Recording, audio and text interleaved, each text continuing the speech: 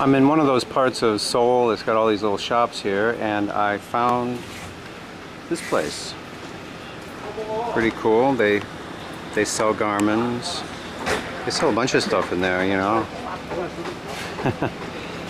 kind of I walked in it's got all this this hiking stuff and I almost creamed my shorts but uh, um, unfortunately unfortunately if you don't buy a Garmin in Korea, you do not get a Korea map. You can they there's no way to put it that's what they say.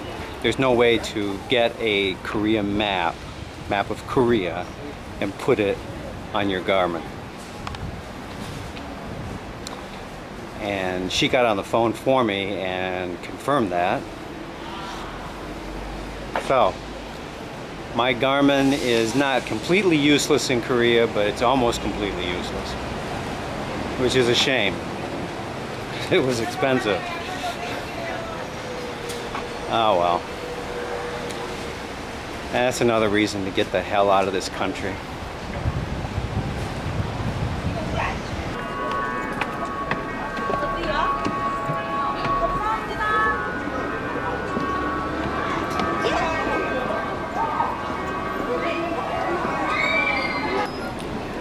Here's a walking path, follows the creek that uh, 16 years ago was all covered up. You couldn't see this creek, as I've said in other videos. But um, there's a cache that way, uh, half a click, but I'm, I'm going to stay on here. There's one kind of on this, uh, about uh, 700 meters down. Can you picture 700 meters in your head? Can you picture seven football fields laid end to end. Now try to do that with tenths of miles. Yeah, metric owns you.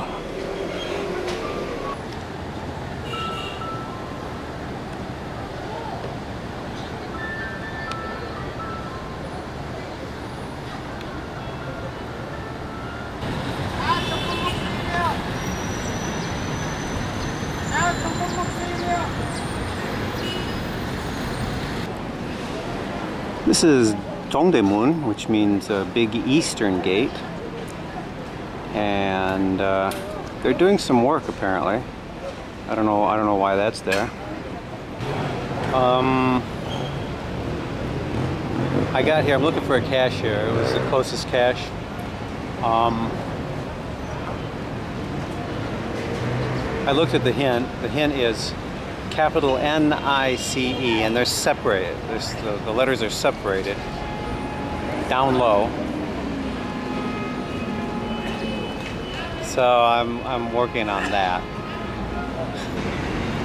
It was pretty easy to find. So micro, I had trouble. You have to wind it really, really tight to get it back in the little micro container and I couldn't make it fit and I was, oh my God, my fingers are too fat. So I was using my fingernails, holding it, yanking it, pulling it tight, so I could get it back in the container. All right, what to do now? I'm not hungry, but I probably should have something. I get that way sometimes where I'm, I'm not, I don't feel hungry, but then all of a sudden, bang, it hits me, and I, I almost pass out. So, there's a kimbap nara, is that right? No, kimbap.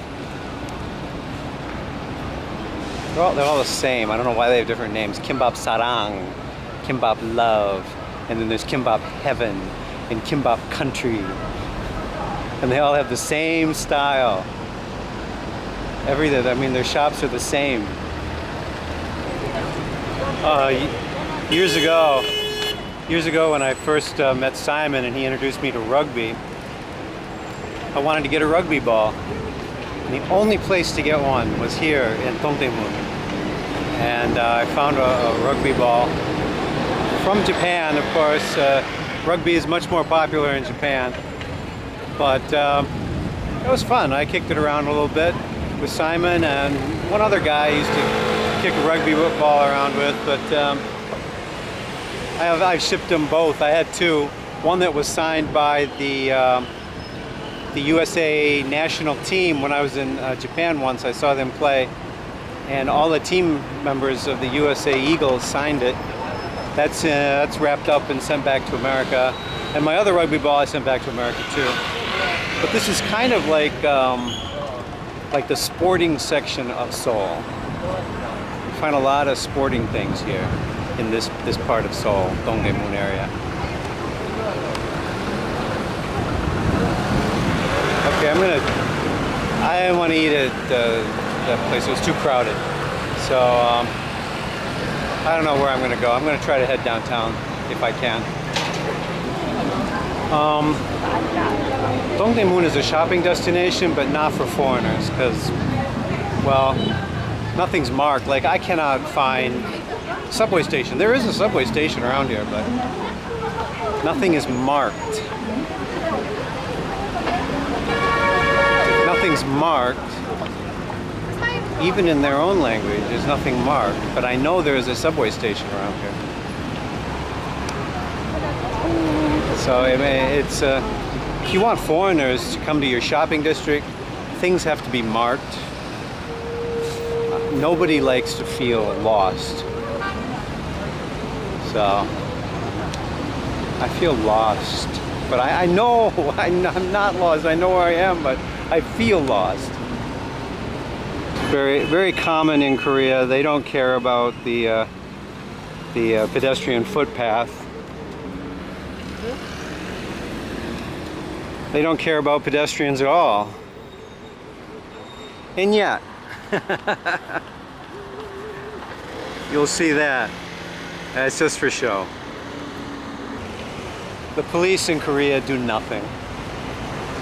People will drive however they want to drive, and as long as uh, they can be very dangerous.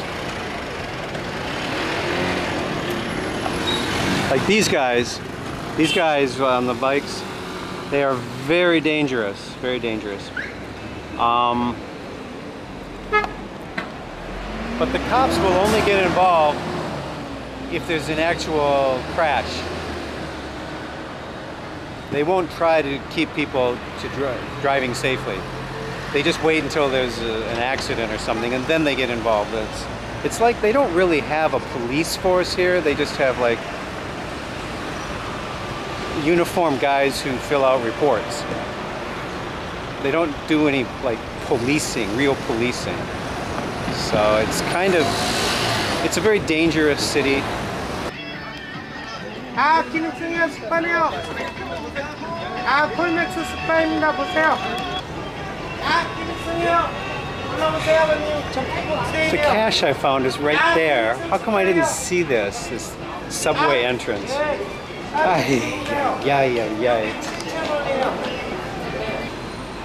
I'm in Itaewon right now, and there used to be kind of a mix of uh, old-fashioned stores and new stores, or um, or businesses that catered to kind of like soldiers, or you know, the lower end of the social scale, and also the higher end too. Uh, Itaewon is that kind of place, but I've noticed now that um, almost everything in Itaewon now is high end. There used to be a Mexican place called Pancho's. It was one of my favorite places here because it, it was Mexican and uh, it was never it was never never ever unpleasant to go to Pancho's. And they used to be they used to be down that way. Then they moved up here um, over my shoulder down down here this way. Now I see that Pancho's is gone completely. I don't see it anywhere. So they've moved out, closed or something. Oasis bar is there now. Yeah. Oh well.